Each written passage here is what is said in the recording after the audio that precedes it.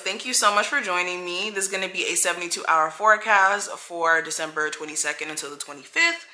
Any information that you need what? Any information you may be needing will be listed in the description so just check there. Um, if you want to join my patreon community it's lit over there. I have so much content on the way for you guys. You just don't understand. Um, and i've been shooting out a lot of content for you guys already so definitely join my patreon community if you want to be a part of the fam. Um, subscribe all that jazz to book a session. That information will be below. And let's go ahead and get into the reading. I know y'all didn't come for all of that.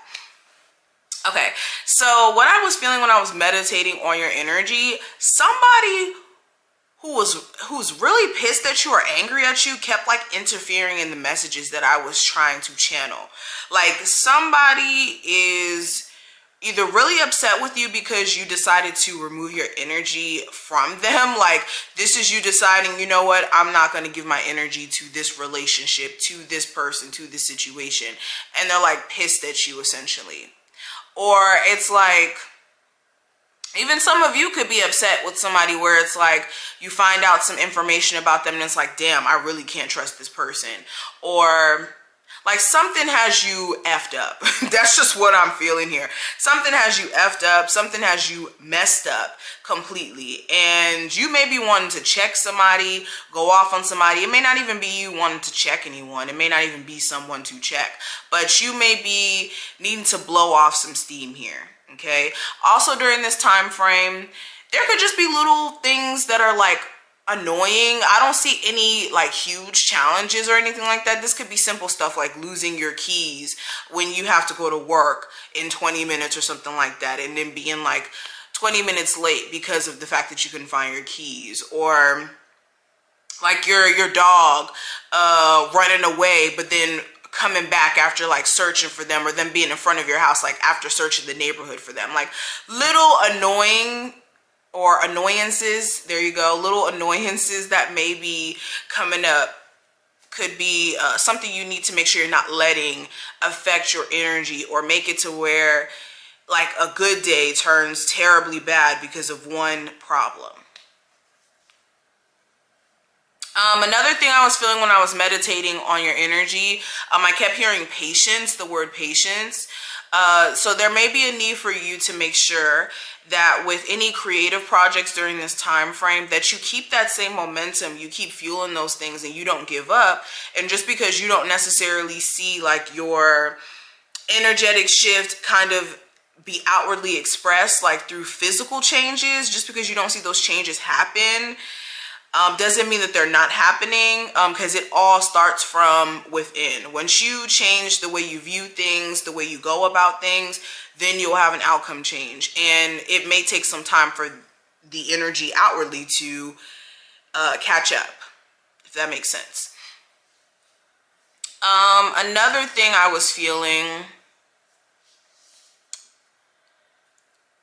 Okay, so some of you are in a connection with somebody and you guys have two different ways of handling things, like just two different types of energy. You may be somebody who's more like straightforward, um, to the point, and your partner may be more, you know, reserved and not so straightforward, you know, or like in different ways, you guys are different. And this could be a relationship where it really could benefit you too, in terms of you guys having two different ways of going about things or even thought processes okay?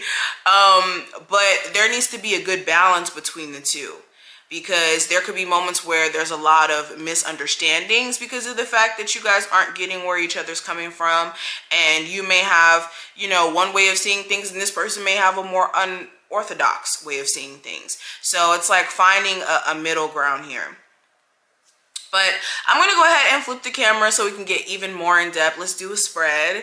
And yeah, let's go ahead and head over there. Scorpios, let's see what December 22nd through the 25th has in store through a spread. Scorpios.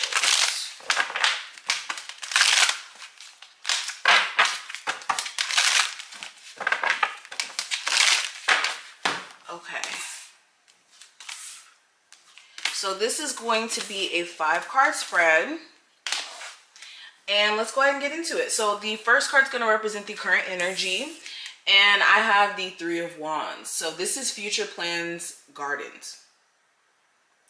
So with this coming up as the current energy, a lot of you are in this very idealistic, um,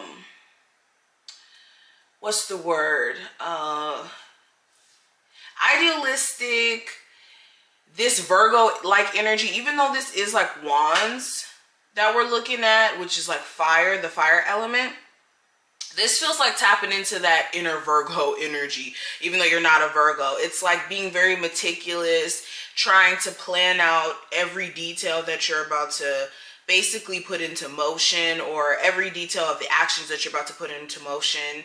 Um, this is looking at also where you want to be in the next three months or even three years if you want to look that far out and realizing that in the now there are some steps that you need to take some actions that you need to put into action in order for you to make your future plans or your your desires a reality. And I think that's also where that fire energy kind of comes in as well because it's desire that's kind of fueling your actions and you're very like the the want that you have for the things that you're trying to accomplish is what's going to keep you going, keep you fueled. Um, a lot of you are also like in the space of finally kind of turning your back on the past after realizing that maybe past energies, people's, uh, places, things, they just don't align with where you're headed. And even though this is painful, it's like, I got to keep going. A lot of you are in that space. Now, looking at love specifically, I do have the death card. And a lot of you are single, so you could be focusing on yourself or on the brink of change within your love life. Now, this could be change for the better or for the worse. It really depends on what your situation looks like. Of course, this is still general. But with the death card, there's changes that are, are manifesting in your love life, okay? Some of you literally just ended a relationship or somebody may have broken up with you. Or for my singles, this is like you changing your view on love. You may have been single for so long because you may have had a destructive view in regards to love. And there's a lot of you putting things to bed that you didn't fully put to bed before. You may have still had hope for an ex to come back from like a year ago or a couple months ago. And it's like, okay, I'm ready to let that go so that I can actually love again. All right. This could be the dynamic of your relationship changing. Some of you are kind of sick and tired of your person. Okay. We are in that Venus retrograde energy in Capricorn. So that could be a thing as well. Now, when it comes to your career, I do have the King of Wands, which is the provider of authority and charm. So this feels like you guys are extremely motivated to get the bag for one. Um, and a lot of you if you work in like a customer service job or a job where you have to use a level of authority and charm like take charge and actually like show up and be charismatic um, that's why I said customer service. You guys may really be able to bring in the big bucks during this time frame. Um, so definitely make sure you're putting your best foot forward. Um, a lot of you are also having the energy to get like creative stuff done. Only thing you want to kind of shy away from is like having all this energy to create and then kind of getting frustrated with either your ideas not making sense on paper after like what you visualize, you put it on paper, you're like getting frustrated because it's not looking the way you want it to look or even like getting frustrated because you have so much energy to create and you're creating, you're putting it out, but then feeling as if like the results that you would like to get aren't manifesting as fast. Um, you have to be diligent, especially with this Capricorn energy and all these planets we have in Capricorn at the moment. You really do need to be aware of structure and building during this time frame. All right, this is no time to play. This is serious business.